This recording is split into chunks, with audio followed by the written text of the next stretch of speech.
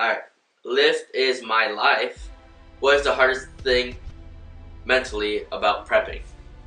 Hardest thing mentally about prepping is definitely keeping you sane with just food, with people around you. You know, um, this last prep was was was pretty tough, but I got through it and it was okay. Uh, it was definitely better than my previous prep because I had a lot more supporters. My brother was was my basically third eye, so it helped a lot. But the hardest thing is definitely keeping your mentality in check on all times, keeping you sane. Like in uh, like moody type of way? Yeah, yeah, definitely. Your moods. Um, there was days where I kind of just like was mad for no reason, but you know, just keeping that in mind and keeping the goal in mind as you prep. So if you're prepping, keep that goal in mind, guys. Alright. Ready to go? Lord? Big shout out to Lawrence making all types of gains over Hey. there. Ready to go, man. Alright. Did you ever binge during your prep or was there a point where it was way too hard?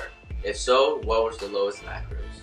Yeah, there was definitely a night when I binge. Um, I worked out here. In, uh, I work at Mountain View, guys, near Gold, uh, Gold's Gym here in Google, near Google headquarters, and I have a client who works at Google. Um, we'll never forget it. I was training him, and then we went to Google, and he showed me the Google company and how all the food, and I personally just couldn't take it anymore. So I just ate. I remember I ate sun chips, ate a cupcake, ate a burrito after that, and then ate a taco.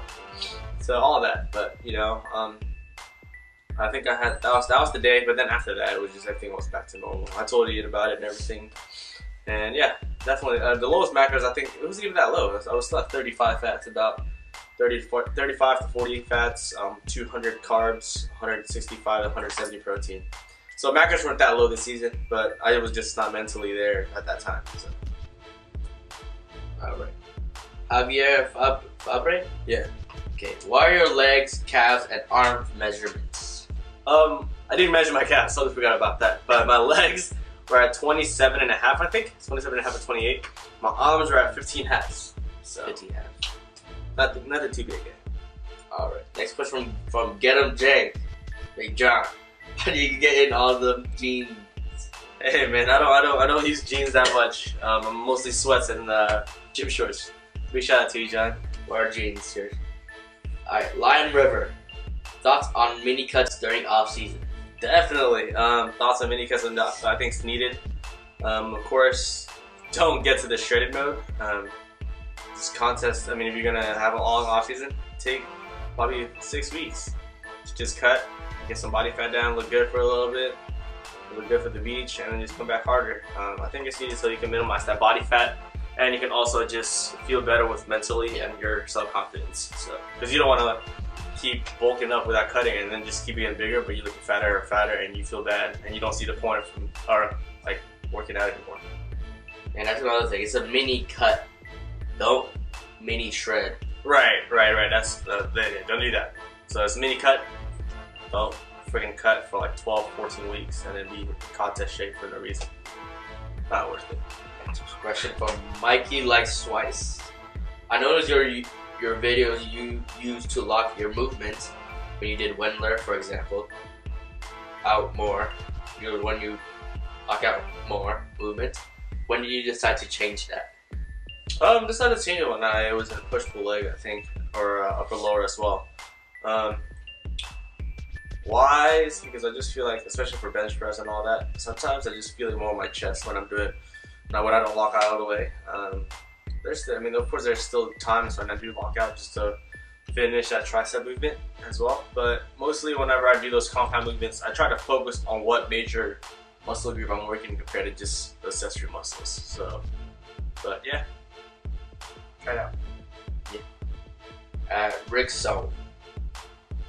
ASL single masters. Ricky Some ASL single, not serious. I don't know what that means, but I am single and ready to mingle. Feel me? Alright, next question from, uh, from Alex Carey. Are you gonna do a powerlifting meet anytime soon? No, not anytime soon, Alex. Um, don't know when, don't know what, but we'll see in the future. Alright, from Antone the trainer. What is your favorite lift? Favorite lift? It has to be the deadlift right now. Um, still trying to chase 500 pull. Um, that's my main movement. Love it. I deadlift twice a week. I'm loving it. So deadlift it is, man. Deadlift it is. It was squat, but then now it's deadlift. How about you, bro?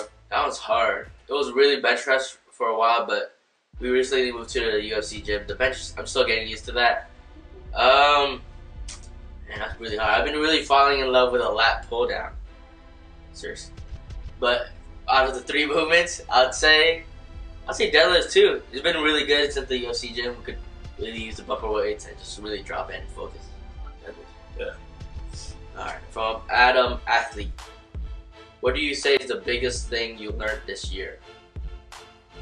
Biggest thing I learned this year, overall in general or in just fitness, uh, let's say in life, I remember that um, you got to be happy with you. You're hard before you be happy with someone else. Um, in fitness, I learned that if you want it bad enough, you can get whatever you want. Um, in terms of career or just shred mode, because I've never been that shredded. I've never seen like lower ab veins, like veins out and everything. And this year, I really put my mind into my prep mode, and yeah, I think that's what I learned, man. And hard work pays off no matter what at the end. It's a big year for you. Yeah, big year, big year for me, guys. Alright, from Ilu Fante. Ilu Fonte, big shout out to Evan Lou. Alright, how beneficial beneficial do you think increasing your body fat bulking is, and what is the extent does it have the diminishing returns? Um, in my opinion, personally, is that I think body fat is okay for you to gain, especially during your off season during your bulk. However, I feel like when there's a diminishing return is when it starts messing with your mental.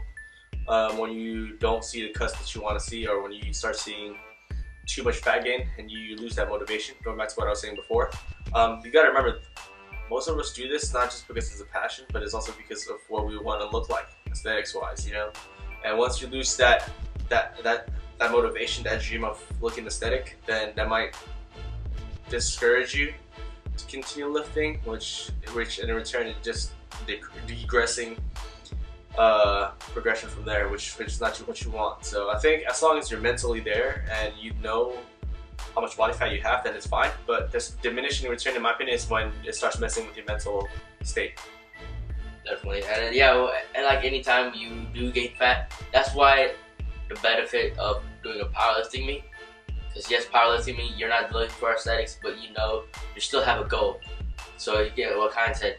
If you have a really high fat percentage, body fat percentage, it's gonna be hard for you to keep that aesthetic mindset. Right. So just use that as powerlifting. Just use powerlifting as another set Yep. of goal, so that you do powerlifting as a goal when you're off season, when you're fat mode, I guess, and contest day. That's when you're in prep. So two different things, or two things you can use. All right. Next question from Love Always Gigi. GG. Yeah. Big shout out to GG. All right. How did you stay motivated when you were cutting? Also, I miss you. Love. Miss you too, Gigi. Um, come out to the UFC gym or text me and everyone work out. Um, I didn't stay motivated throughout the dieting, throughout the comps. Um, it's definitely seeing progress every week. Um, I was able to take pictures this year. Um, I wish I had this camera, but um, I was able to take more pictures this year of each and every week progress and seeing the numbers change and seeing more shredded, um, seeing more shredded glutes my sides, shredded hamstrings. It's just more and more of that that keeps me addicted to what I was doing. I think keep chasing to see what I can do, what I can do, where I can, how far I can push my body. So that's what kept me motivated, and yeah, Yeah. All right. There's another one from Evan again. Ilu Fate. Who, who's gonna win the race to 405 squat? Ready to go or Mr. GQ? All right, um, a lot of you guys aren't following me on Instagram, but if you are, um, you know that me, myself, Mr. GQ, which is a good friend of mine, Nate, Lawrence, ready to go, another good friend, and uh, Louis goes Speed X Racer. He's also we're all chasing 405 squat, and so far I feel like I think Lawrence and uh, Nate and even Louis, they're probably gonna get it before me. Um, my squat progression hasn't been very well, but yeah, I think that's what I think. So. Big So- out to all so- you guys out there. So you're the dump three. So you're you're pulling out of the competition. I'm not pulling out of the competition. I'm just saying I'm gonna give those guys a headshot right now. I'll be the I'll be the, the the turtle in the back winning at the end of the race. We'll see. Difficult part of your last cut. Most difficult part, or my last part, is keeping a relationship sane. Um, this past contest prep, I was with, I was in a relationship with someone, and I think that was pretty hard. Um, definitely would want to be with someone else who would understand that. I guess um, there were some rough batches, but they helped me through it. But I think that was the last. Uh, I think that was the hardest part: keeping emotionally being there for somebody when you're trying to be emotionally there for yourself during your prep. Um, so yeah, that's pretty much it. Alright guys, so thank you guys for watching the video. Um, if you guys have any more questions, please feel free to comment below. Um, big thanks to everyone who actually asked the question. Um, could not have done it with you guys. Uh, much love to everyone out there. Yeah. And catch you guys in the next video. God bless guys.